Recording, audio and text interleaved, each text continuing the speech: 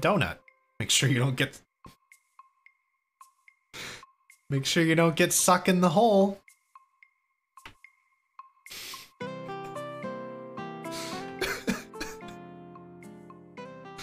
That's um it's some pretty solid advice. Don't don't get sucked in the hole. Or or do, I guess, uh, if you want to.